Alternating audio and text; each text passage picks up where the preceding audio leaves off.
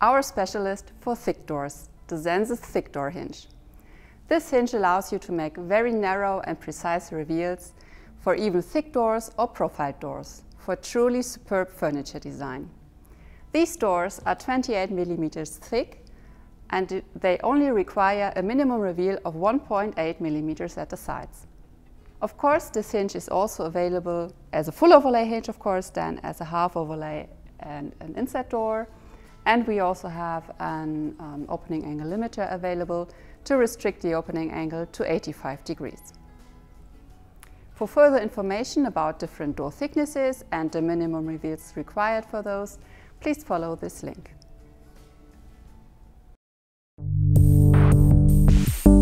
Thank you.